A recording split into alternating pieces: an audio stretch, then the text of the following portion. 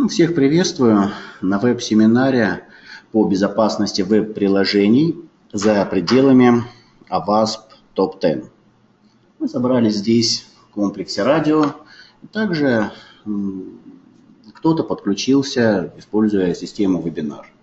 Может быть, будет доступна запись этого веб-семинара. Кто-то будет смотреть семинар в записи. Ну, тех тоже приветствуем. Меня зовут Сергей, я инструктор в Центре компьютерного обучения специалист. Клевогин Сергей Павлович.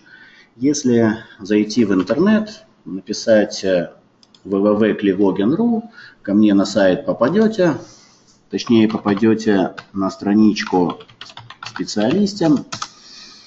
Написано, что провожу курсы Microsoft, курсы по безопасности. Имею много разных статусов. Авторизованный инструктор Microsoft, авторизованный инструктор EC Council. Имею статус этичного хакера, Certified Ethical Hacker. В разных версиях бывает, шестой, восьмой. И безопасность компьютерных сетей, компьютерных систем включает в себя также безопасность веб-приложений, в честь э, безопасности веб-приложений будет наш веб-семинар.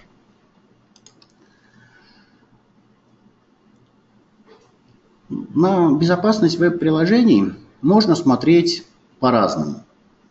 Э, можно смотреть на то, как э, писать код. Можно смотреть с точки зрения дизайна с точки зрения функционала, с точки зрения архитектуры, проектирования, производительности. И такие курсы в специалисте есть. Если хотите учиться на веб-дизайнера, художника, на программиста, только скажите «хочу записаться». Множество курсов, из них э, есть э, курсы по веб-дизайну, по программированию, в том числе на PHP, интернет-технологии, да, вот веб-дизайн, система управления контентом, веб-программирование. Давайте делать настоящие сайты. Ну, это все, конечно, хорошо. И, судя по курсам, очень популярно. Раз есть курсы, значит, кто-то учится, значит, кто-то с этим работает. Но функционал – это одна сторона. С другой стороны, мы боимся, как бы наш э, функционал не нарушили злоумышленники. Чтобы мы сделали хороший сайт, например, сайт специалиста, чтобы здесь никто не нарушил конфиденциальность, целостность, доступность нашей информации. А как это сделать? Давайте изучать безопасность. И безопасность можно тоже изучать по-разному. Давайте курсы веб-программирования так хорошо изучим, чтобы учиться писать код, который невозможно взломать. Давайте учиться не код писать, а код проверять. Ну, если хакер хочет проверить код и взломать, то мы хотим э, защититься, чтобы раньше хакера это найти. Вот, э, есть э, такое направление, что, может быть, э, вы программировать умеете или нет, это другой вопрос. Это мы потом можем изучать. Но уже сейчас есть сайт, мы уже сейчас даже не глубоко вдаваясь в тонкости программирования, можем проверить, что там с безопасностью. А как это сделать? Надо знать слабые места сайта и знать, куда хакеры могут ударить. И тогда мы сможем от этого защититься. И если вы пойдете на курсы по этичному хакингу, например, вот всех этичный хакинг, тестирование на проникновение, ну, программа курса говорит, мы вас будем учить э, различным техникам, которые хакеры используют, чтобы атаковать системы, в том числе веб-серверы. Веб-серверы, веб-приложений. И вот э, можно сказать, смотрите, есть э, такая техника, есть такая техника. Когда мы будем методологию изучать, мож, э, можно вот такой приемчик использовать, а можно такой, а можно такой, много разных приемов. Вот бы все эти приемы как-то классифицировать. и сказать, вот это атака такая, атака такая, атака такая на 6, 5, 8, 10 пунктов разделить. Или не атаки классифицировать, а уязвимости классифицировать. Слабое место такое, слабое место такое, слабое место такое. Это, если есть слабое место, соответственно, туда может прийти и атака. Существуют различные классификации. Например, есть классификация WASC, которая классифицирует слабые места в веб-приложениях. И даже есть семинар, ну, однодневный, которая эту классификацию изучает. Ну, курс называется «Защита веб-сайтов от взломов». Может быть, э, вы на этот курс ходили, он однодневный. Мы вот э, на этом семинаре, однодневном курсе, видите, даже не курс, даже семинар, что там один человек, эту классификацию изучаем. Ну, все очень просто. Есть атаки на аутентификацию, атаки на авторизацию, на клиентов, на выполнение кода, раскрытие информации, логические атаки, все хорошо. Но это как бы такая совсем фундаментальная классификация. По ней хорошо учиться, по ней хорошо начинать, но если вы хотите профессионально создавать сайты, вам нужна более серьезная классификация, на которую лучше ссылаются различные инструменты для пентестеров. И такая классификация есть, называется классификация AWASP. AWASP организация такая, Open Web Application Security Project. Вот я вот в Google зайду, скажу, Google, что ты знаешь про AWASP? Он говорит, я все знаю. Но больше всего, вот AWASP.org, да, прославилась она тем, что есть вот топ-10. 10 уязвимостей, публикуем, обновляем, каждые три года пересматриваем самые популярные уязвимости. И вот эта вот классификация, которую АВАСП предлагает, помимо всего прочего, видите, он говорит, мы конференции проводим, мы книжки какие-то, статьи, рекомендации даем. Вот э, топ-10, топ-10 по-английски. Это вот мы придумали такую классификацию, вот PDF-ку, она не секретная, скачайте, посмотрите. Мы все уязвимости вот так вот классифицируем. Вот эти есть А1, А2, А3, там А4, разные странички. Ну и давайте уточним, что такое А1, что такое А2, что такое А3. То есть тут э, есть что поизучать. Э, классификация настолько популярна, что если какой-нибудь э, продукт выпускается, например, профессиональный сканер уязвимостей. Он находит уязвимости и говорит, о, на вашем сайте уязвимость такая, такая, такая. Ну вот, какая именно? И он ссылается на эту классификацию.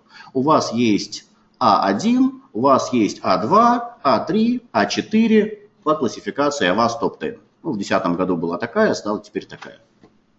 Вот, э, если вы начнете ее учить, то можно, конечно, наизусть выучить а1 инъекция, А2 взломанная аутентификация, А3 межсайтовый скриптинг, А4 небезопасные ссылки прямые на объекты, А5 неправильная конфигурация, А6 утечка чувствительных данных, А7 отсутствие контроля функциональному уровню. Вот я вам говорю, если вы не понимаете, в чем суть, то я могу весь список прочитать, вы не поймете, не запомните. Ну, конечно, бы хотелось бы сесть и так разобраться. Давай вот так вот. Что такое А1? Какое бывает? Как от этого защищаться? Что такое А2? Какое бывает? Как от этого защищаться? Это АВАСП такая организация, которую классификацию предлагает. И если вдруг э, надо проверить безопасность веб-приложений, то АВАСП топ-10 это вот прям самая популярная классификация, которая может быть. Не единственная, но уж больно популярная. И вот топ-10, все уязвимости расклассифицированы вот так. Мы, кстати, придумали по поводу этого целый курс, ну, в честь которого вебинары проводим.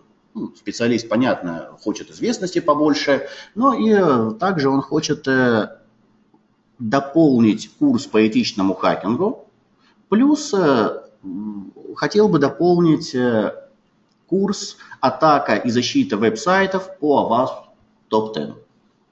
Ну, если еще раз зайдем на сайт специалиста, посмотрим программу курса по этичному хакингу. Ну, есть тут курс всех. Давайте найдем его. Напишем всех.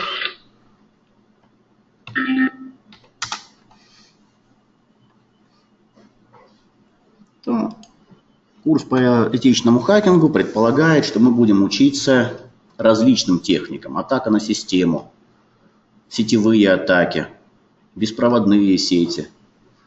А вот один день изучаем взлом веб-серверов, веб-приложений. Вот хотелось бы детальнее изучить. Для этого наш семинар и целый курс. Это буквально через две недели будет курс. Может быть, вы захотите туда пойти. Дай-ка я эти А10 детально изучу. И вот программа говорит, давайте пойдем А1, А2, А3, но уже без всякого простыми русскими словами посмотрим, как 10 раз может быть взломан сервер. Специально под этот э, курс я подготовил стенд. Ну, есть много приложений, которые пытаются нас научить тому, как э, защищать веб-приложения. Ну, они разные где-то побольше, где-то поменьше, что-то там для Windows, для Linux. Мне больше всего понравилось э, приложение Bivap. Из-за его хорошего, приятного интерфейса, и что вот это вот приложение, я вот сюда вот зашел, кто пришел на радио, можете зайти, HTTP OWASP, этот портал у меня прямо здесь развернут. Он говорит, ну, хотите залогиньтесь, можете пользователя завести, вот create user есть. И вот тут целый портал э, такой и есть. И что я могу здесь сделать? Ну, вы здесь можете, например, э, посмотреть, какие бывают фильмы. Мы ведем как будто бы каталог разных фильмов. У нас актеры будут, у нас там что-то такое. Но смысл не в этом. Смысл в том, что каждая страничка этого сайта имеет уязвимость по AVAS в топ-10. Видите, есть инъекции. Инъекции бывают HTML, инъекция бывает iframe, инъекция бывает LDAP, инъекция бывает SMTP, инъекция бывает операционной системы, SQL-инъекции на все лады разные бывают. А потом есть А2. Аутентификацию сломать можно так, можно так. Вот, можно капчу обойти, можно такую функцию использовать. Межсайтовый скриптинг. Ну, может быть, вы знаете, да, скрипт, алерт, окошко выпрыгивает. Да, вот здесь оно такое. Но есть еще такой, такой, такой, такой. И вот везде есть какая-то проблема по вас топ-10. Вот, например, зайду, скажу, ну-ка, где здесь будет у меня отраженная XSS? Он говорит, у меня очень просто. Найди кино в нашей базе данных. Ну, я люблю кино чтобы там было слово iron. Он говорит, iron, да, такого нету. А вот э, Iron Man, о, yes, у нас есть такое кино. Вот, видите, технология Ajax. То есть она прям тут же мне говорит, э, я печатаю, оно тут же ищет, не перегружая страницу. Здесь есть отраженная XSS атака. А тут еще есть А1, инъекция. Вот здесь HTML инъекция, здесь LDAP инъекция, здесь вот инъекция mail header. Вот, хотите нам письмо отправьте? Да, у нас есть э, вопрос. Студент, да, наш e-mail, студент, хотим задать вопрос. Когда начнем курс? Отправили, и если сейчас э, буду почту проверять, администратор получит e-mail от студента, когда начнется, на этот e-mail ответит. Вот здесь есть инъекция в почтовом заголовке. О, как найти? Да, давайте разберемся. Потом здесь взломанная аутентификация есть. Вот, например, здесь вот есть капча, можно капчу не вводить и сразу залогиниться. Да не может быть. Капчу надо ввести. Вот, прочитать. Нет, не обязательно. Сейчас чуть-чуть пошурудим и так зайдем. О, а здесь вот тоже есть какая-то проблема, и здесь какая-то проблема. И вот э, что мы будем делать на курсе. на курсе мы будем говорить, значит так, вот все эти уязвимости, которые тут есть, плюс еще к этому дополнительно что-то будет у нас, мы разберем, в чем проблема, как ее взломать. Вот видите, страница заблокирована только для администраторов. Как сделать, чтобы разблокировалась? Ну, я знаю. Но чтобы это изучить, надо понимать, как оно устроено. И вот э, научимся чувствовать уязвимость, ее эксплуатировать, а потом тут же брать и защищаться. Например, есть э, какая-нибудь страничка, где есть там какая-нибудь инъекция самая простая. Ну, мы все знаем и любим межсайтовый скриптинг. Ну, наверняка знаете, если написать скрипт alert 0, скрипт, ну, вот как-нибудь вот так вот напишу, то скажу, меня зовут как-нибудь вот так, окей, о, скрипт выполнился. А теперь э, говорим, а теперь уровень безопасности высокий. Установили, пишу то же самое, абсолютно, вот все сохранилось, отправляю, о, ничего не прыгает, все отблокировалось. Как это сделано? Да, мы разберем, как код устроен, как так защититься от этого. Ну, так мы проведем три дня, по всем этим э, уязвимостям пройдем. Вот будет у нас э, такой замечательный курс «Атака, защита веб-сайтов». Ну, я не буду сейчас этот курс читать, я про него показал, ну и рассказал, что про все эти уязвимости А1, А2, А3 до А10 посмотрим, где проблема, скажем, вот есть инструмент, какой-нибудь там Burp запускаем, вот здесь вот химичим, вот здесь вот атакуем уязвимость. А чтобы так не было, о, надо вот такую проверочку делать. Ну, конечно, чтобы защищаться на таком уровне, вы хоть чуть-чуть язык программирования PHP знать должны. Чтобы понимать, как э, эксплуатируется уязвимость, хоть чуть-чуть межсетевое взаимодействие понимать нужно. И, может быть, вот сейчас э, поговорим, вы воодушевитесь, скажете, да, прежде чем идти на курс, я еще там книжку какую-нибудь почитаю. Но есть кое-что, что выходит за пределы даже AWASP топ-10 есть какая-нибудь атака, которую можно с натяжкой в AWASP топ-10 засунуть, мол, это какая-нибудь А5, или это какая-нибудь А7, или какая-нибудь А4.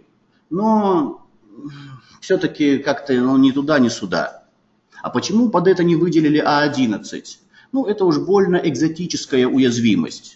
Она, конечно, смешная, ее, конечно, интересно изучить, она реально может работать, но все-таки не пойми, куда ее воткнуть, давайте ее отдельно. Вот э, за пределами АВАС топ-10 три примера расскажу. Почему три? Потому что они базируются на протоколе HTTP. Это расщепление HTTP ответов, подмена методов HTTP, загрязнение параметров HTTP. И вроде бы это не проблема веб-приложения, это проблема протокола HTTP.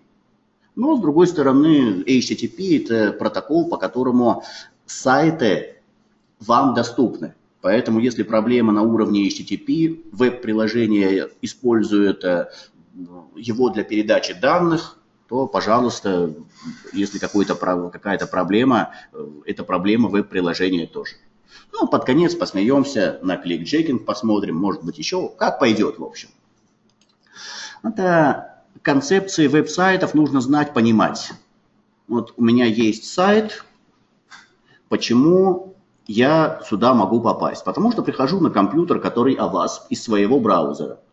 И, наверное, хорошая идея поставить Wireshark и видеть, как я свое, со своего компьютера отправляю через интернет запрос на веб-сервер, который AWASP называется. Это, у меня это виртуальная машина, вот этот сервер AWASP. Ну, действительно, вот так вот я могу сделать host name, его зовут AWASP. Вот он так. Здесь э, у меня установлен веб-сервер.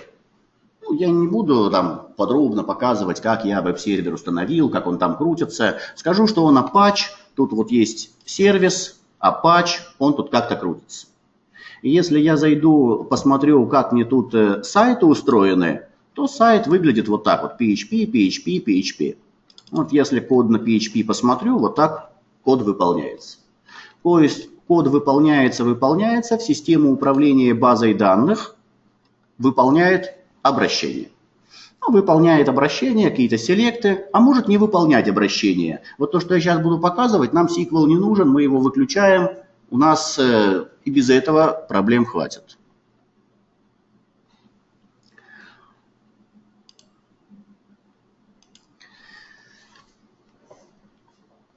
Ну, вот, э, наверное, хорошая идея Wireshark вот так вот запустить и сказать, и сейчас со мной будет взаимодействовать вот этот вот хост. Это компьютер, с которого я трансляцию веду. И вот э, давай-ка показывай любую коммуникацию, которая будет. Я говорю, о, как хорошо, я вот, допустим, хочу вот этот вот скрипт отправить. Да, вот, жму какой-нибудь там Ctrl F5, он э, у меня перезагружается, я пишу там окей, окей, он говорит, без всякой атаки, добро пожаловать, окей, окей. А что это было? Он говорит, ну смотри, вот такая вот была у тебя коммуникация ты подключился, сказ, сказал мне по протоколу HTTP, дай мне чего-то, я тебе вернул. Вот видите, да, это протокол HTTP, который лег на протокол TCP, протокол TCP, который лег на протокол IP, и на канале у нас есть связь на проводах. То есть вот э, так вот ведется коммуникация, протокол HTTP. Это то, что определяет, как мы разговариваем. Это такие вот концепции, которые, конечно, нужно понимать.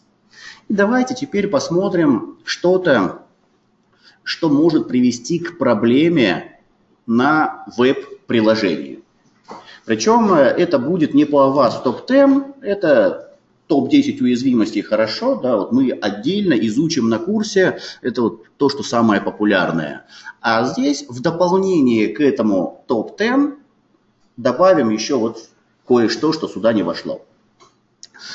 Все вендоры считают, если у них спросить, какие две проблемы на веб-серверах, они говорят, всего у веб-серверов две основные проблемы. Во-первых, обход каталога, во-вторых, расщепление HTTP-ответов. Но обход каталога, директоре Traversal, оно однозначно входит э, в AWAS топ-10. Вот если здесь присмотреться, где-то здесь обход каталога можно найти, директоре Traversal, но это будет не проблема веб-сервера, это будет э, проблема приложения, которое допускает обход каталога. Вот видите, видишь, тут PDF-ки есть. Хочешь про Iron Man читать PDF-ку? Хочу. Вот смотри, какая PDF-ка. Вот. вот здесь есть атака, обход каталога, мы ее изучим. Э, не сказать, что прям супер убийственная атака, прям сейчас все сайты похакают, но одно время она была популярна.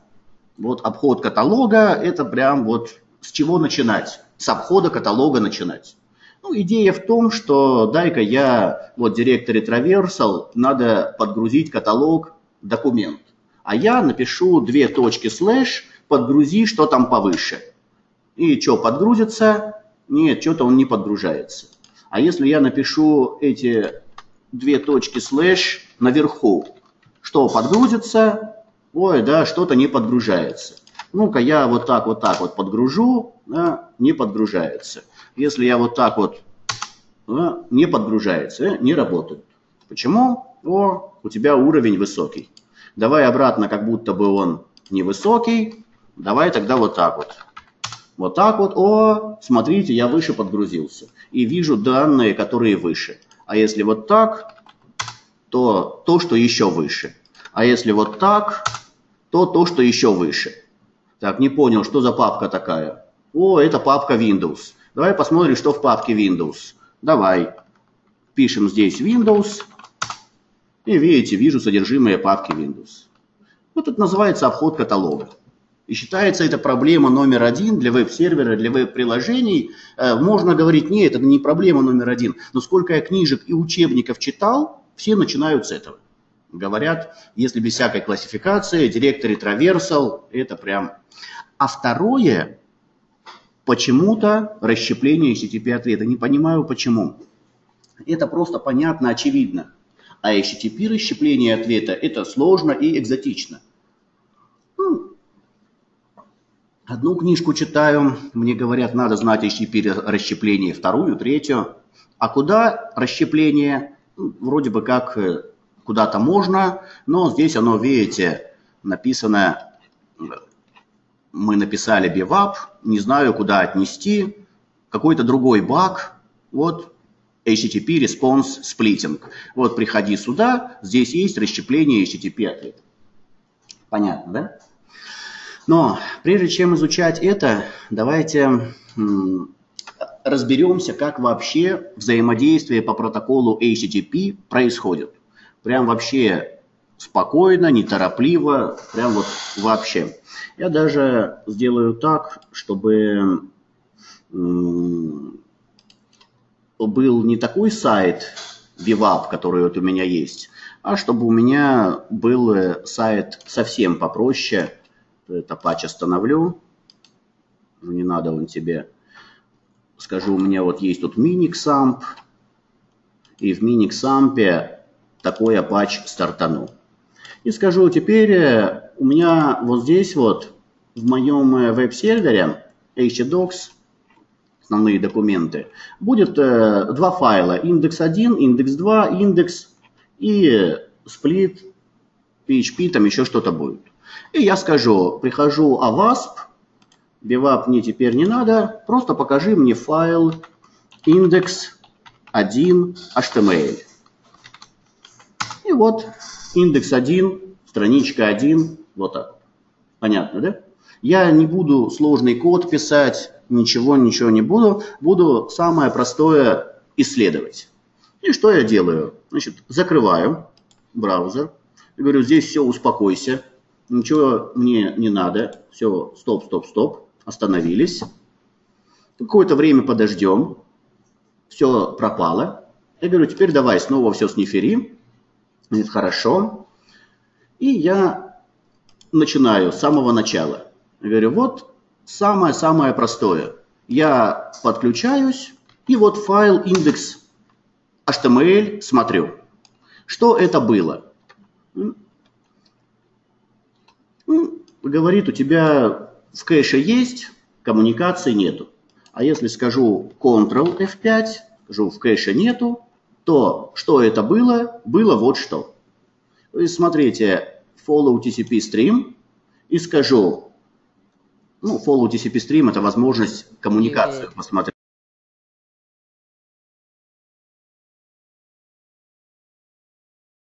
Unmuted.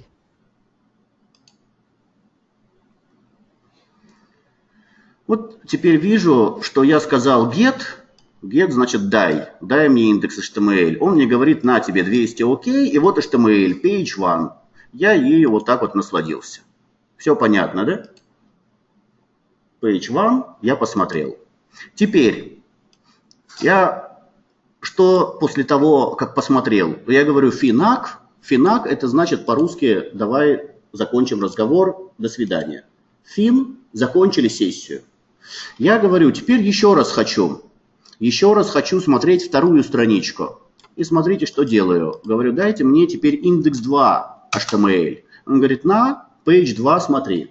Вот э, что мне прислали мне прислали вот такую HTML по протоколу HTTP. И теперь э, вообще экспертом быть не надо. Вы совершенно четко видите, что вот была одна коммуникация, теперь давай в конец идем, а это вторая коммуникация. Вторая коммуникация заключается в том, что я говорю, дай мне теперь индекс 2, он говорит 200 окей. Так по HTTP сервер с клиентом разговаривает. И после этого я опять говорю, здесь было здрасте на TCP, а здесь фин. До свидания. То есть, может быть вот такая коммуникация. Я установил сим подключение TCP с клиента на веб-сервер и говорю, дай мне индекс 1. Он говорит на. Я говорю спасибо, закончили разговор. А потом говорю, дай мне второй файл. предварительно поздоровавшись. Он говорит «на». Я говорю «спасибо, до свидания». А что будет, если я скажу «дай один и дай второй сразу»? Зачем закрывать? Можно вот сразу открыть? Да, запросто, может быть и так. Вот давайте проверим. Теперь, значит, э, снова берем и на сайте смотрим, все очистим. Ну, скажем, вот тут снова широковещание, вот сейчас пойдет наш трафик. Я вот в браузере делаю такой простой, элементарный эксперимент. Говорю, дай-ка мне страничку индекс 1, а то у меня ее нету. Ctrl F5 нажму, ну, чтобы из кэша. Вот оно. И тут же скажу, индекс 2 тоже мне давай. У меня тоже его в кэше как будто бы нету. Он говорит, на, тебе, пожалуйста.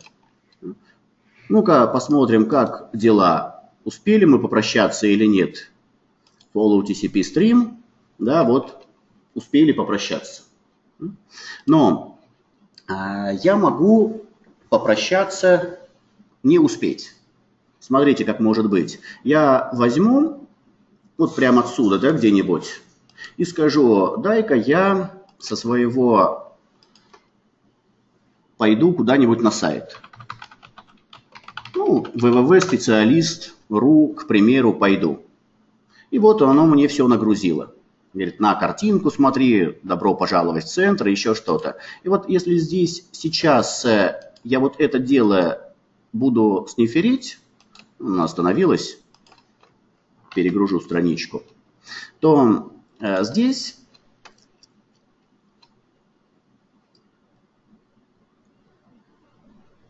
буду видеть вот такую коммуникацию.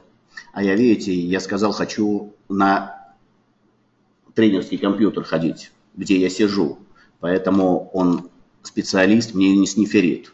Ну ничего, я пойду вот э, не на сайт специалиста, а у меня тут есть сайтик с машинками. Вот я его посмотрю. Вот видите, посмотрел машинки. Ну, просто для того, чтобы вот здесь сниферить. И вот видите, что у меня происходит. Я говорю, дай мне Cars HTTP. Он говорит, он переехал сюда. Я говорю, дай мне Cars. Он говорит, набери. Я говорю, хорошо, а теперь дай мне CSS-ку. Там написано, что есть CSS-ка. Я хочу смотреть. Можете пока не знать, что такое CSS-ка. Это специальный файл. Но видите, я его прошу. Он говорит, на, бери. Я говорю, и еще теперь вот этот вот другой файл дай, CSS-ку. Он говорит, на, бери. Я говорю, вот и JavaScript тоже мне давай. Он говорит, на, выполняй. Я говорю, и закурить тоже дай. Он говорит, на, бери. Еще булку вот эту тоже давай мне. Он говорит, ну, на, тебе бери. Видите, да?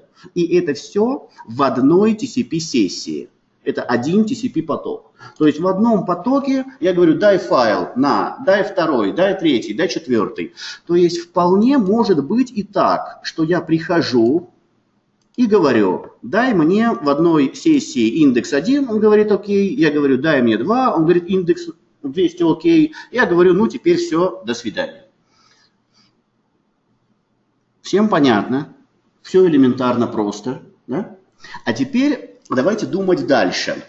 Может ли быть вот так, чтобы я ему сказал, здравствуй, сервер, он сказал, здравствуй, клиент, я ему, дай мне индекс 1, не дожидаясь ответа, говорил бы, дай мне индекс 2, и он мне говорил, на тебе индекс 1 и на тебе индекс 2.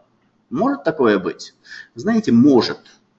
Если мой браузер, он так не делает. Вот мой браузер, он обычно говорит, дай одну страничку посмотрю, получил, дай вторую, да третью. Но я могу по протоколу HTTP что угодно отправлять со своего компьютера. И получить вот такой вот ответ. Да, кстати, я прямо сейчас попробую. Вот у меня тут есть э, на этом сервере запущен Wireshark. Я говорю, здесь все хорошо, мы насладились, давай по-новому все сниферим. А здесь у меня есть программка, называется NCAT, которая отправляет любые данные куда угодно. Мы ее будем детально изучать на курсе по этичному хакингу, может быть, изучали и на других курсах тоже. Она что угодно может делать. И вот этой программке NCAT я могу сказать, возьми файл get2.txt, и этот файл get2.txt отправь на сервер А что в файле get2.txt будет? Он, кстати, у меня где-то есть уже этот файлик. Здесь я скажу, отправь мне вот такие вот геты. Дай мне индекс 1 и индекс 2 тоже дай с хоста с таким-то IP-адресом. Ну, сейчас э, у него вроде бы другой IP-адрес, да, давайте проверим. Напишем IP-config и увидим, что 10.5.1.62 у него IP-адрес. Не такой, который задумывался. А я-ка попробую вот так вот написать хост 10.5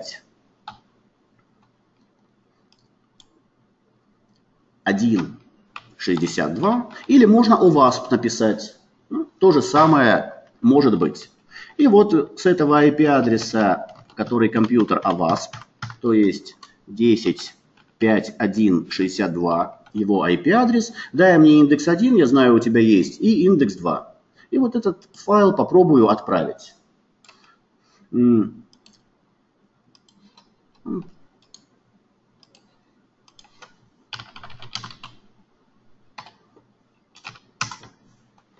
Get2 у меня вот есть этот файл тут лежит. Проверим. Type get2 txt. И вот видите, вот этот вот get я могу отправить по протоколу HTTP с помощью NCAT. NCAT это как Telnet, только круче. И вот теперь, как у меня на слайде написано, написано NCAT на 10.5.1.62 на 80-й порт отправь get2 txt. Хорошо? Он говорит, я попробую. Он говорит, я отправил. И смотрите, что пришло в ответ. Page 1, page 2.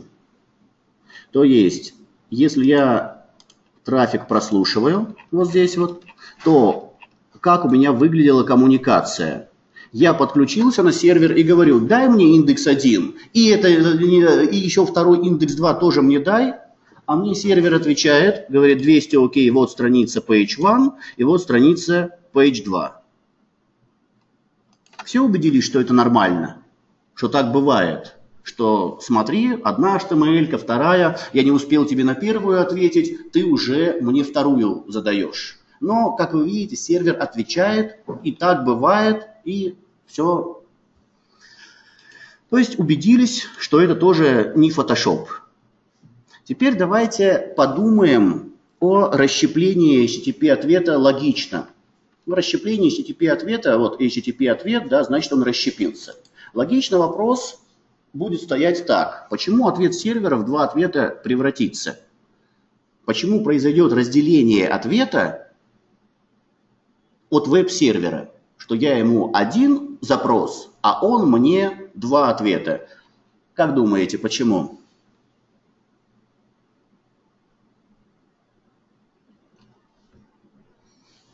Я вам подскажу, потому что веб-сервер данные пользователя, которые я отправлю, повторит.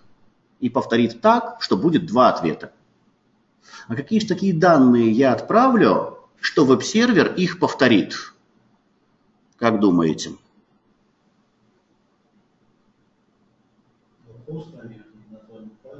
Я отправлю название файла. И он название файла повторит. Еще какие мнения? Хорошо, где будет это название файла, как вы считаете? Где это будет?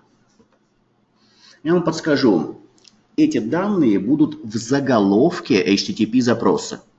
То есть вот здесь вот я такие данные напишу, в это заголовок HTTP, что он на мои данные два раза ответит. А почему повторение данных в заголовке приведет к раздвоению? Что я такое волшебное в этот get могу написать, что он мне ответит на один get 200 окей и еще раз 200 окей?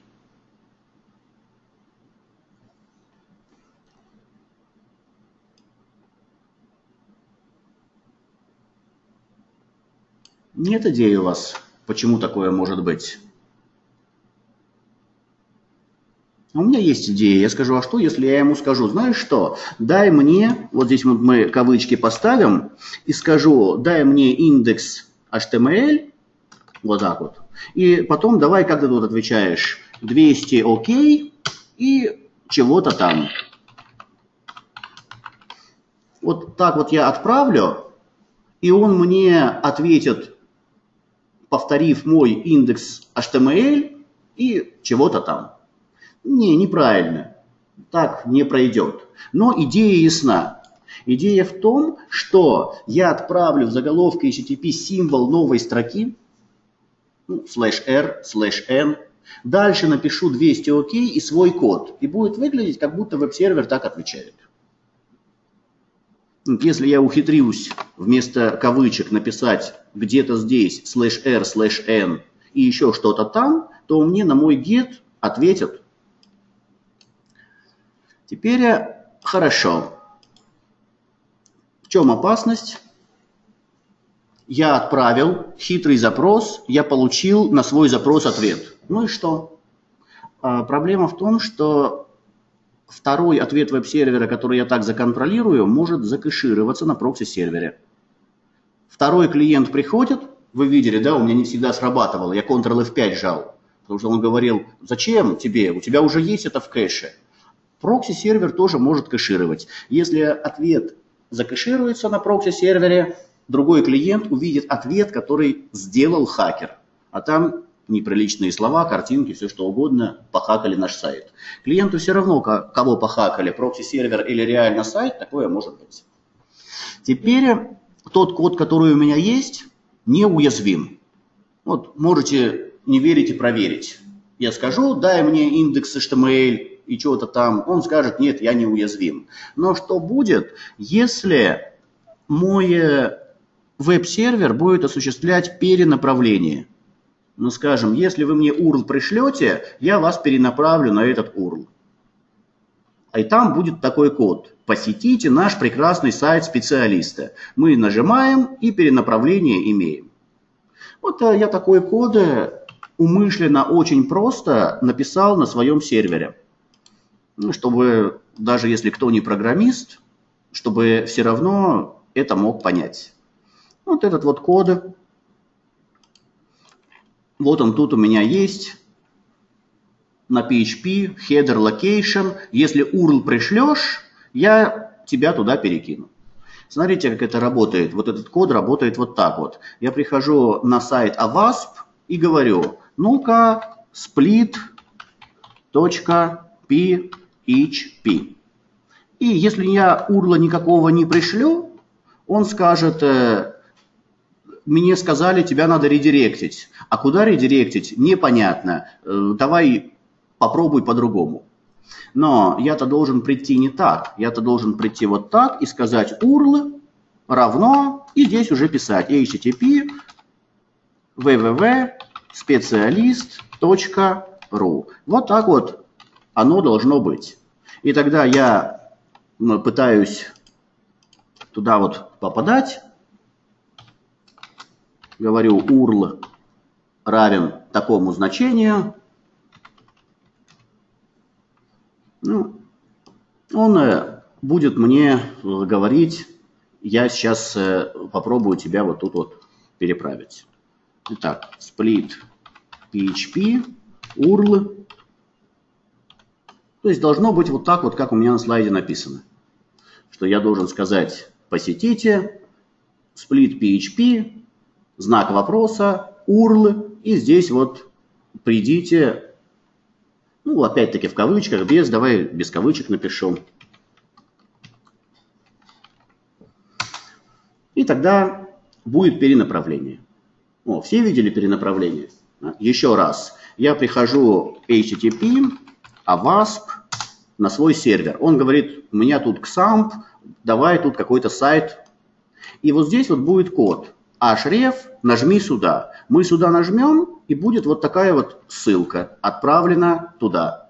Я вот это дело туда отправляю, и учебный центр-специалист перенаправляюсь. Вот так работает вот этот код. Давайте теперь посмотрим, как это выглядит. Вот что это было в Wireshark. Я здесь все сниферю как меня перенаправили на сайт специалиста «Хочу увидеть». Я вот так вот даже сделаю. Скажу, вот сейчас давай все остановим, снова запустим. И теперь э, с чистого листа открываю, отправляю запрос, а ВАСП, специалист, как это было? Было вот что. Я, значит, подключаюсь на веб-сервер и говорю, сплит, давай мне чего. Он говорит, есть такое дело, есть, но оно сидит вот здесь и присылает мне вот такой вот заголовок. Твоя локация, местоположение, www.specialist.ru. И после этого я говорю, спасибо OWASP, что ты меня направил на истинный сайт. И пошел открывать сайт специалиста. Ну, так бывает, часто нужно. Вот пришли мы на сайт специалиста, а сайт специалиста вам может сказать, а не хотите ли вы перейти на Facebook? Желаю, желаю перейти на Facebook. Кстати, про Facebook. Сергей Клевогин, уникально меня найдете. Добавляйте в друзья, если какие-то вопросы, не стесняйтесь спрашивать. Но вы все видели, что специалист меня перенаправил на Facebook. Так бывает, это нормально. Ну, там, конечно, код посложнее, не такой учебник, как я придумал. Вот. Но теперь вы видите, да? А вот теперь внимательно сюда смотрим, что вот я контролирую у себя в браузере вот это вот дело. Правильно? Это я написал «дай мне сплит», и это я написал «дай мне www-специалист». Правильно? А в ответ мне сервер говорит «твоя локация» и повторяет вот эту вот часть www-специалист. И вот здесь вот я уже могу химичить. Вот здесь вот я уже могу сказать, значит, локация специалист.ру хорошо, но давай как будто бы ты мне отвечаешь 200 окей. Давай вот здесь вот я ставлю Enter. Перевод каретки в начало строки, это слэш R, слэш N в кодировке. Потом напишу еще что-то как положено, я прочитаю мануал, и тогда два ответа получу. Да, так можно сделать. И мы скажем, пусть у меня будет локация вот такая у меня будет локация пусть специалист, потом там контент length надо писать, контент length какой, 200 ОК и 200 ОК будет HTML. Если кодировать URL, то перенос строки процент 0А, пробел процент 20. Больше-меньше так выглядит в URL. Запрос вот так вот будет выглядеть.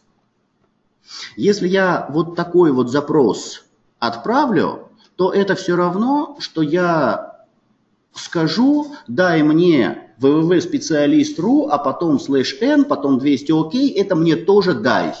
И он мне тогда скажет, такого я не знаю, или он мне скажет, такого знаю, неважно, но важно, что он мне отправит 200 ок обратно.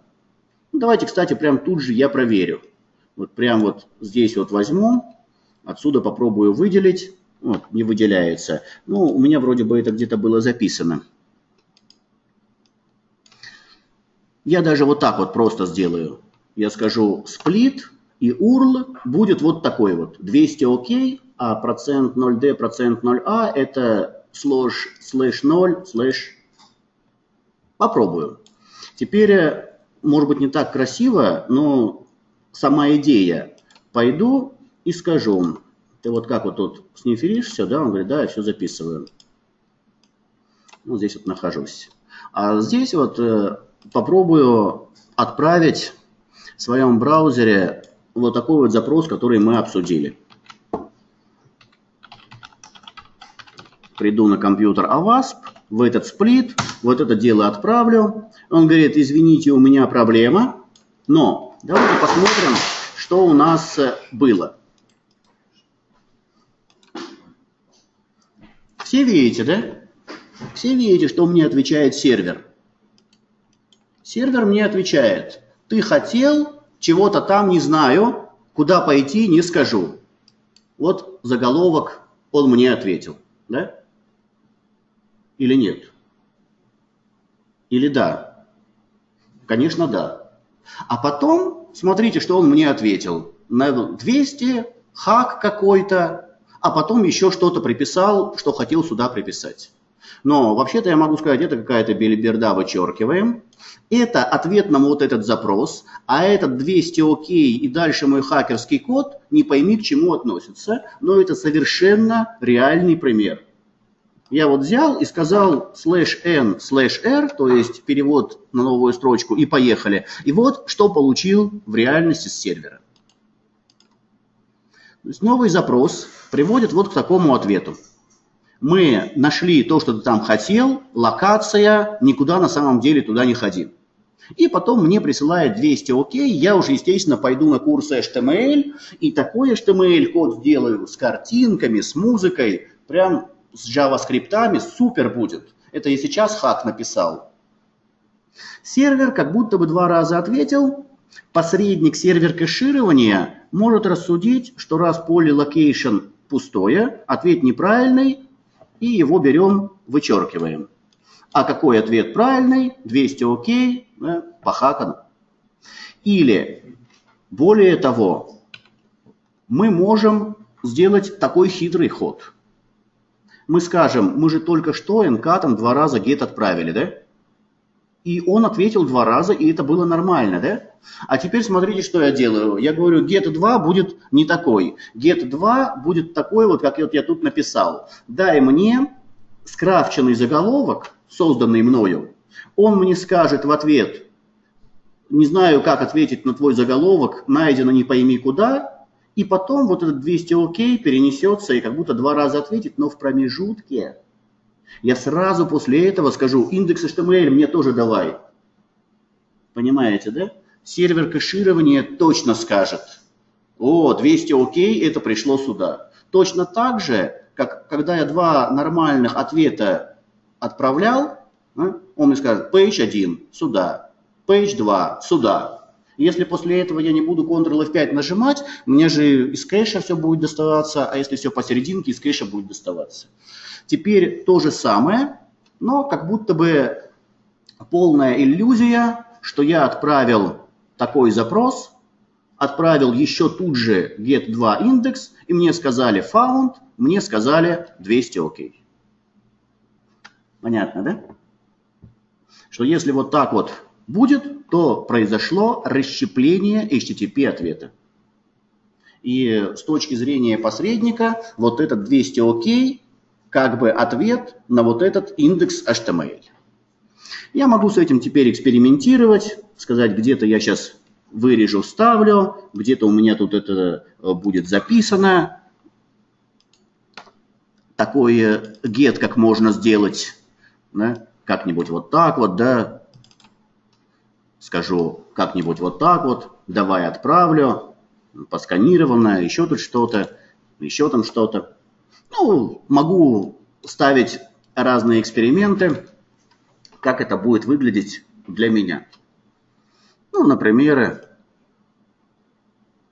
вот нравится мне какой-то get-hack, и отправлю я на avasp такое дело. Здесь напишу avasp, это вот этот вот компьютер 105162, и тут напишу 105162, или даже IP-шку напишу 105162 10, 5, 1, 62. И начну такие вот эксперименты делать. Скажу, дай-ка, у тебя вот тут хорошо получилось, теперь то же самое ncat, и давай мне вот этот get hack, который я вот так вот нарисовал. Существуют сайты, которые такой красивый текст, как вы сказали, в такой вид урловый переводят. То есть это вручную можно не делать. Ну и вот как-нибудь отправляем, в ответ получаем, и он мне говорит, смотрите, found и 200 окей. Видите, да? А ну-ка, ну-ка, на что-то мне сказал 200 окей.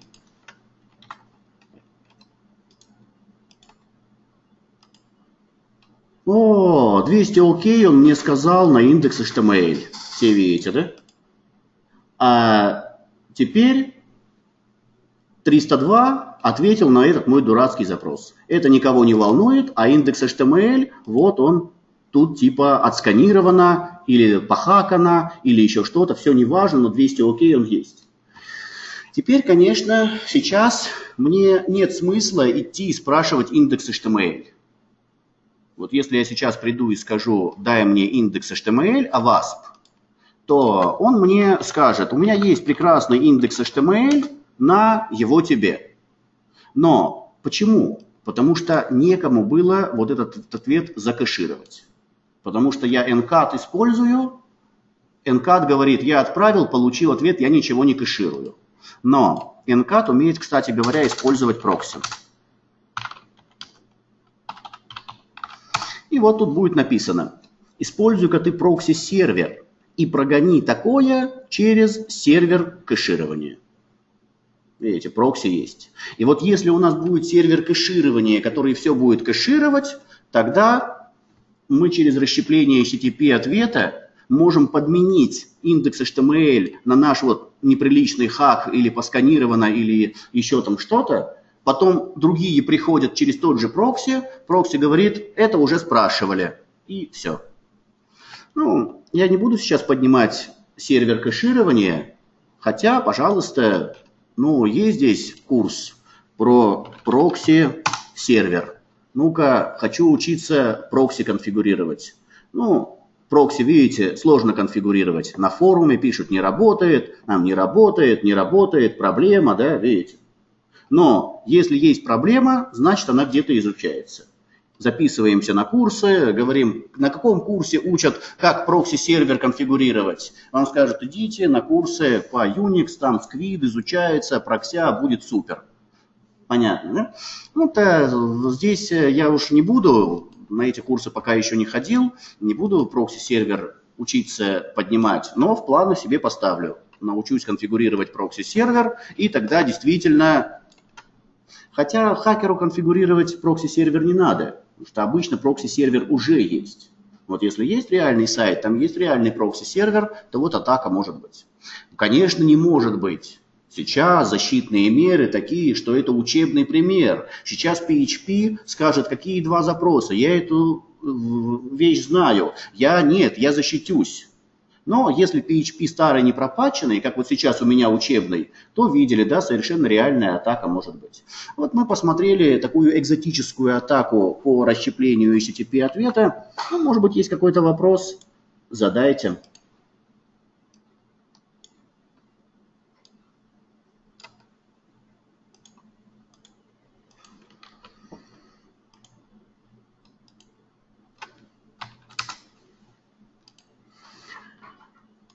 Что ж, время еще есть немножечко. Давайте посмотрим на еще кое-какие проблемы, которые в вас топ-10 не входят, но тоже в основах э, могут быть. Это подмена методов HTTP, например. Подмена методов HTTP означает, что вместо одного метода отправится два.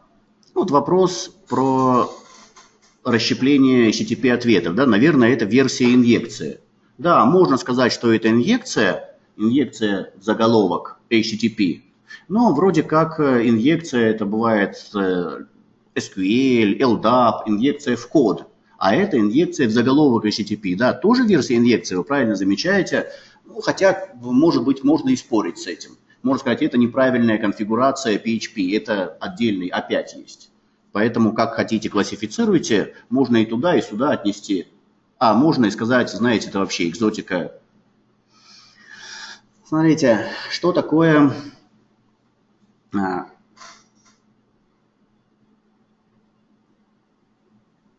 HTTP. HTTP описан в RFC. Ну, например, 7.2.3.1, очень хороший RFC. Мы его на курсе еще обязательно прочитаем. Пойдем в интернет, бесплатно скачаем. И вот этот RFC 72.31, он говорит, смотрите, как работает протокол HTTP. Вот здесь написано, что клиент должен прийти и сказать get, то есть дай. Здесь написано, что он может прийти и сказать post, Мол, давай тебе пароль введу. Здесь написано, что есть метод head, put, delete и так далее. А, два основных метода get и post. Post – это вот хочу залогиниться на сайт специалиста, да, войти. Вот я логин, пароль могу отправить методом post. А get – это когда я говорю, дай мне аккаунт логон. Вот э, это будет э, get. А логин, пароль постом отправляю. Знаете, постом, конечно, надежнее, безопаснее. Вот, э, например, есть у меня тут э, пример такой вот. Давай-ка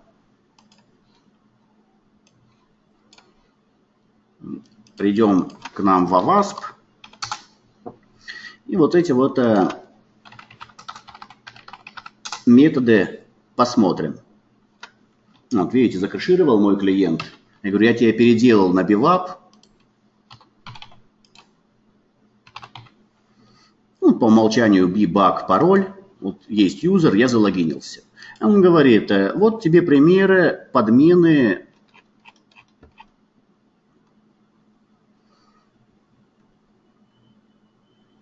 методов. Это очень просто. Смени пароль. Смени пароль, и как это выглядит смена пароля? Если я зайду и HTTP Web Tampering посмотрю на уровне кода, то увижу, что выглядит это вот так вот.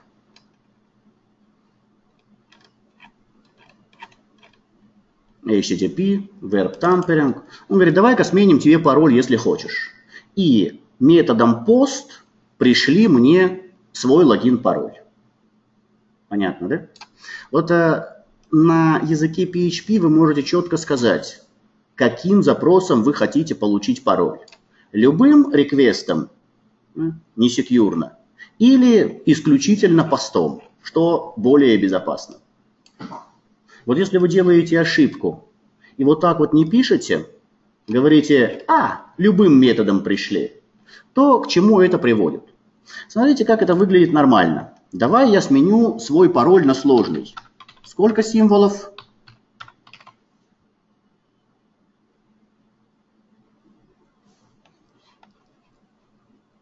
Раз, два, три, четыре, пять. То есть больше, чем был баг. Да? Я какой-то пароль из пяти символов поставил, сменил пароль. Отлично, мой пароль сменен. Давайте проверим. Выхожу из системы. Вы уверены? Да, я уверен. И захожу обратно. Пароль 5 символов. Все видите 5 символов? О. Вот мой пользователь B. Хотите, пользователи создайте сами, студент, кого угодно. Вот я, допустим, хочу его похакать. И хочу от имени этого пользователя B, ну, B от слова пчела, от слова баги, с ошибками в приложении. Вот хочу, как этот пользователь B зайти. И от имени пользователя B что-то где-то здесь э, отправить какое-то сообщение. Тут вот, например, э, можно сообщение отправлять. Да, вот какие-нибудь э, записи блогов можно делать. Я могу зайти, написать здесь что-то. А, кто написал? О, Би написал. Видите, да? Как мне сделать так, чтобы пользователь B сменил пароль на нужный мне. Я могу сказать, алло, B, дайте позвоню. Или e-mail могу ему отправить на почту. И сказать, B, сделай так. Значит, иди в этот Avast Bivap. Он говорит, так, пришел. Дальше выбери, где ты пароль меняешь. Вот сюда вот приди, у меня есть специальная веб-тамперинг. Он говорит, так, пришел, говорит, пиши сюда пароль из трех букв. Он говорит, так, написал. И теперь дальше что? Жми change. Нажал, поздравляю, все, до свидания. Таким образом, я знаю пароль у пользователя B. Как вам такой способ взлома? Не очень, да?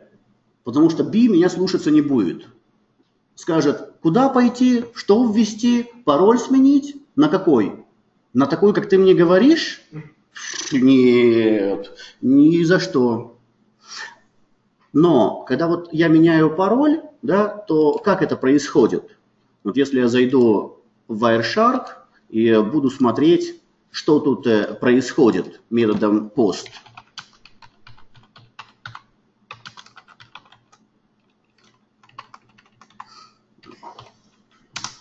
то видите, я методом post отправляю логин-пароль. Видите, да?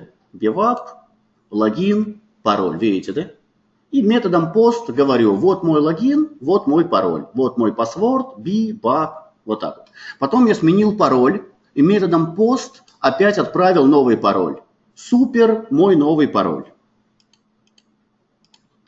А, видите, да? Я отправляю мой пароль новый из пяти букв супер, да? я его сменил, но отправил я его методом post. Конечно, так не сделать, но если я делаю ошибку, которую я вам показал, и говорю, давай так, любым методом присылай, то хакер говорит, а если гетом, то давай я эти данные отправлю вот так вот и пришлю пользователю вот такую ссылочку и говорю, пройди по ссылочке. И все, пароль менять не надо, ничего не надо вообще. Пользователь подумает, о, это Avasp, это Bivap, я знаю, хорошее приложение, и пытается по этой ссылке пройти. Понятно, да? Вот, ну, браузер, да, допустим, это у меня Explorer браузер, я, допустим, хочу идти по этому через э, как мне тут скопировать, а, вот так вот отсюда скопирую и вставлю в Firefox. Вот так вот. А то он мне переводит его, могу его скопировать отсюда, выделить. А, у меня viewer, видите, он еще и не дает. И copy slide. Да. А если вот так вот, он сюда. Ну, неважно. Давайте здесь сделаем. Какая разница? B, пароль у меня супер. Да, я зашел, аутентифицировался. Да, теперь вот все. Я могу сказать, B, зайди, вот смени, да, он, естественно, меня слушаться не будет. И, а по ссылке пройдет. Но он-то сюда уже залогинился, и поэтому пароль он здесь менять может легко. А это очень удобно. Я уже один раз пароль ввел, чем мне еще раз вводить, да, удобно сразу его сменить. И вот тут вот есть такое, да, меняй, меняй. А теперь он повелся на мой трюк и кликает просто по ссылке. Кликает, и а, запрос отправляется, и можно сказать, ну-ка, как вот ты. Он, э, вот это вот метод говорит, возьми два параметра, в этот HTTP Web Tampering да, и отправь. Но пароль новый баг и подтверждение баг. То есть то, что я передавал через э, метод post, видите, password new, password conf, то же самое передай только методом get. И вот если оно отличает это, то тогда да. Если не отличает, то ну, можно видеть это вот так вот. HTTP Web Tampering, да, и вот сюда вот зашел. И сюда я снова меняю пароль, ну, напишу вот так вот. Супер, супер. Вот так я его сменил. А если я пойду по ссылке, ну, попробую вот здесь вот пропечатать, и скажу Web Tampering, знак вопроса отделить параметры и скажу password new равно book, а то перехожу по ссылке, оно кодировка, да, там какой-нибудь пробел воткнет. And password conf равно book. Вот такую вот ссылку сделаю, отправлю, скажу, пойди по ссылочке. И он, э, если вдруг пойдет по ссылочке, э, проверим, Вроде бы перешел, все нормально. А вот теперь давайте проверим. Был пароль супер, 5 символов, да? Я прислал пароль бук. Выходим и заходим снова. B, пароль сменился, Пароль сменился. Видите, да? Почему сменился? А потому что у тебя код не секьюрный. А если я сделаю вот так вот high или даже medium, если ты так сделаешь, то мой код будет правильный. И он будет говорить, что значит, если в реквесте есть логин-пароль. В реквесте не надо, давай пусть будет пост. Вы должны знать, что метод бывает пост, бывает реквест. Вот если вы говорите request, так вроде бы проще, но можно прийти гетом. А гетом, как вы видите, прийти проще. Вот буквально на ваших глазах по ссылке прошел, и все. Пароль сменился. Конечно, метод get атаковать легче. Подмена методов HTTP – это тоже атака на приложение. А еще бывает загрязнение параметров HTTP. Полюция параметров HTTP. Значит, параметры HTTP это вот такое вот. Параметр, параметр, параметр. Вот, допустим, у меня есть э, в примере голосовалка. Вот я прихожу голосовать за любимый фильм. Пришел голосовать за любимый фильм, и тут вот HTTP, параметр, полюция. Приходим голосовать. Он говорит, для того, чтобы проголосовать, скажи, как тебя зовут. Я говорю, меня зовут Би. Он говорит, хорошо. Теперь, Би, выбирай любой фильм. Я выбираю вот этот фильм. Молодец, Би, ты проголосовал за это кино. Понятно, да? Это, конечно, может быть сложно реализовано, но если на код посмотреть, то видно, что мы спрашиваем, как его зовут, он нам говорит, а потом мы скрипту, который оценку выполняет, передаем, что B что сделал? Vote проголосовал за фильм номер какой? Номер один. Но что будет, если передать параметр я голосую за фильм номер один, ой, извините, я голосую за фильм номер два. За какой номер будет отдан голос в голосовании? Вот RFC говорит, вы должны сделать параметры по таким правилам, но RFC не запрещает, чтобы параметр одинаково назывался. Представляете? И таким образом это уже дело веб-сервера. Считать, ну, этот первый значит правильный. Нет, этот второй значит улучшенный. Понятно, да? Таким образом вы можете нарушить логику приложения. И думает, вот у меня какой-нибудь конкурс фильмов, там конкурс красоты, еще чего-то. Пусть все за меня голосуют. Давайте? Давайте. Видите, мы говорим, давай как будто бы нас зовут окей и муви как будто бы номер два. И пусть он за это проголосует. Ну, давайте попробуем. Вот я перехожу. Пытается в Explorer бросить, а он, видите, Explorer не пропатченный, да, видите, говорит, нет, лучше в этом, в Firefox. Ну, хорошо, я напечатаю, ничего страшного. Значит, э, перейду по ссылке, которую мне пришлет э, злоумышленник. И скажет, перейди по ссылке, где у тебя имя спросили, давай как будто бы тебя зовут B, э, потом процент 26 амперсент, movie, процент 3D2,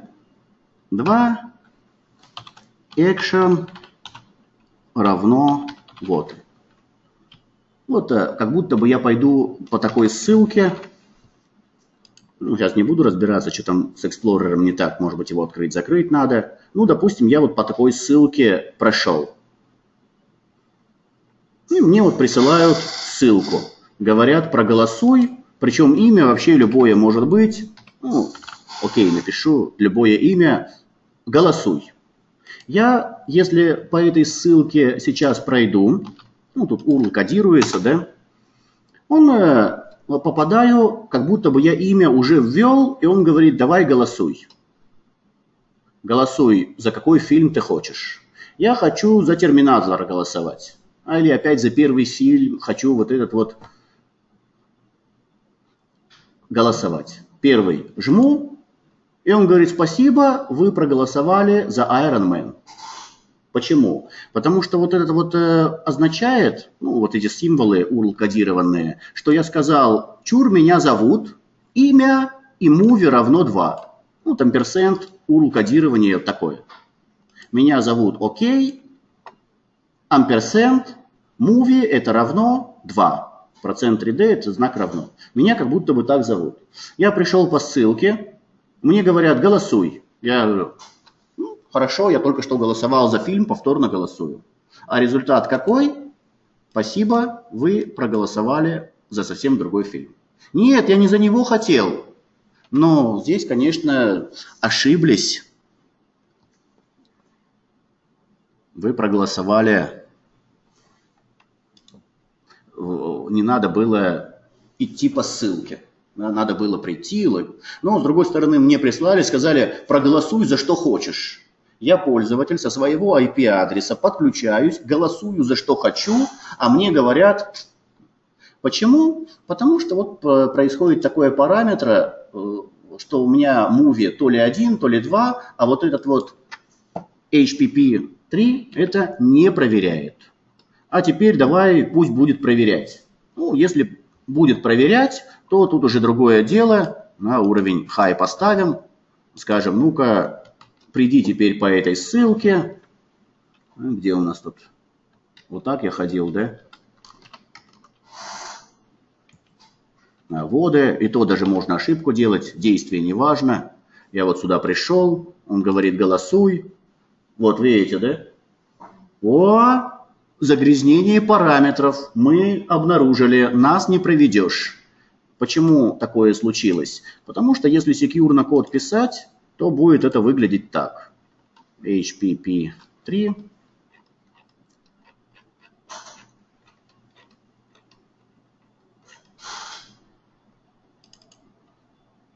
Ну, здесь есть проверка. Вот HPP check – это функция, URL decode, проверяй. Знаете, вообще-то любые такие проверки вы, конечно, можете сами писать, но лучше не надо.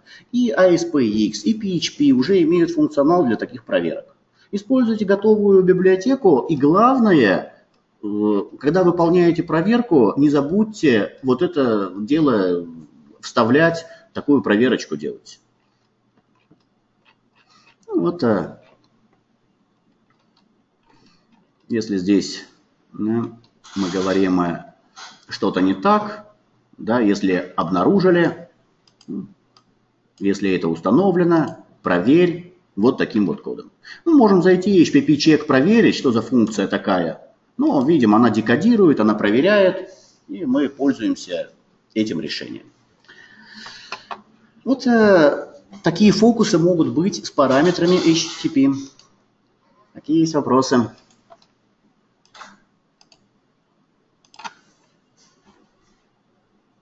Проблема может быть вообще не в HTTP. Вот а, атака клик-джекинг вообще смешная. Вот смотрите, есть у меня такой чудесненький пример. Не желаешь ли ты напоследок сходить на фильм, на который только что голосовали. Да, желаю, допустим, желаю сходить. Вот response splitting рассмотрели, tampering рассмотрели, полюция параметров увидели, что реально происходит. И вот теперь, э, видите, да, давай купим билеты в кино. Я не один пойду, пойду с друзьями. Все видите, да? Ну, прекрасно, хорошо, как будто бы я купил 10 билетов, 150 евро уплачено. Ну, как будто бы, да, у нас учебный сайт. А теперь смотрите, что будет, если я пойду какой-нибудь сайт совсем другой. Вот а вас в BWAP у меня на том же самом сервере, но хотя это может быть другой сервер, другой сервер, но Evil, да, видите, не BWAP, а Evil. Тут вот кликджекинг HTM. И он говорит, неслыханная распродажа. Бесплатно даем билеты. Бесплатно даем билеты, сюда нажимай, бесплатно в кино пойдешь. Мы бесплатно хотим пойти в кино, правильно? Но давайте посмотрим на этот э, HTML-код, который нам прислали. Что будет, если вот этот HTML-код, вот мы вот туда пришли, да, секьюрно пришли, HTTPS, там еще что-то, он наше, наш запрос отправляет на легитимный сервер. И там как будто мы согласны за деньги, за все, за все. И когда вот мы здесь нажмем confirm, вот когда вот сюда нажмем confirm, то где выполнится эта кнопка? Если текст а не хотите ли вы э, заказать бесплатные билеты, скрыт вот этим баннером. И вот вы можете сказать, вот бы мне какой-нибудь Firebug, и сказать, ну-ка, что это закрывает тут все? Размер 1000 на 525. Да? А давай как будто бы здесь э, картинка не 1000 на 25, а как будто бы она поменьше. Прям тут же, если я поставлю Firebug, он э, позволит мне э, это редактировать. Ну, я, кстати, вам сразу этот Firebug и покажу. Есть такие расширения, которые позволяют редактировать код еще лучше, чем оригинальные. Мы приходим прямо в Mozilla, говорим, хотим Firebug, добавить Firefox, он его скачивает, устанавливает, и теперь у меня лучше возможности по управлению есть. Ну а теперь иду сюда, говорю, это тоже хорошо, но Firebug еще лучше. А это закрываем.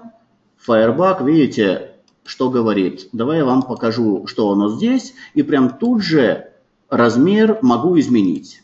Или даже вот эту вот картинку несуществующую давай подгружай а здесь ширина 525 не надо, 5 убирай, а здесь 1000 не надо, 1 пиксель хватит. И тогда здесь будет э, вот э, этого, этой картинки не будет. А что будет? А будет, что здесь подгружен вот такой вот iframe, который говорит, пойди в bivap, и в бивапе уже ClickJacken PHP запусти. Понятно, да? То есть э, здесь подгружается вот этот вот бивап ClickJacking, но этого ефрейма не видно, потому что сверху закрывается картинка там какой-нибудь free tickets, а кнопка торчит, вылезает. Вот если удастся сделать так, чтобы кнопка вылезала, а вот этот баннер, это iframe закрывал, то вы вроде бы кнопку видите, на кнопку вроде бы нажимаете, но кнопка нажимается не здесь, а на том э, сайте. Это, конечно, будет зависеть от браузера. Ну вот, зайдем. Это может э, зависеть от разрешения. Но сама идея такая может быть. Вот Internet Explorer, видите, хорошо это заметно. Вот. Evil, бесплатно, билеты. Конечно, берем или не берем? Берем бесплатно. Конфирм. Поздравляем. 150 евро вы уплатили. Как, где, что? Ну, а вы посмотрите, здесь тоже есть F12. И тоже можно сказать, вот эта вот картинка, да, вот что такое, где она? Она вот здесь, эта картинка. Какая у нее высота? У нее высота 1000 пикселей. Пусть у нее высота будет 10 пикселей.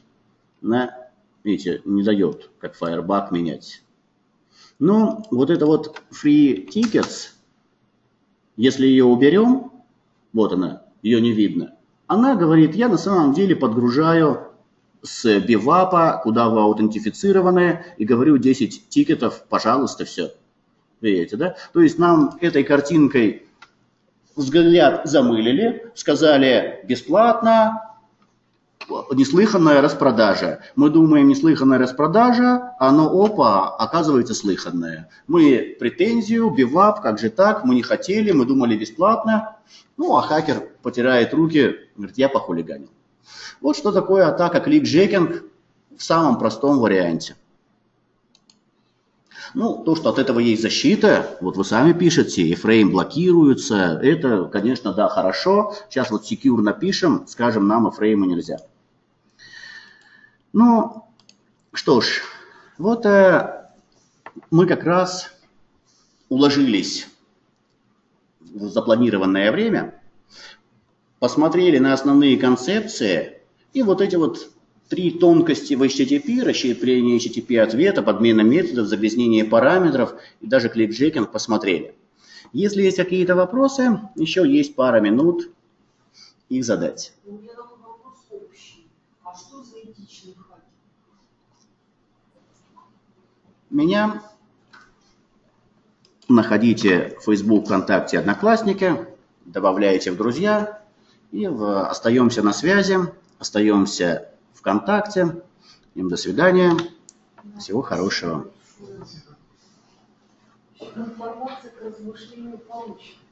Сергей, вопрос, а вот, вот этот курс атаки и защита по ВАК тут есть, он насколько сильно закрывает вообще все уязвимости в приложении? Ну, практически все закрывает, потому что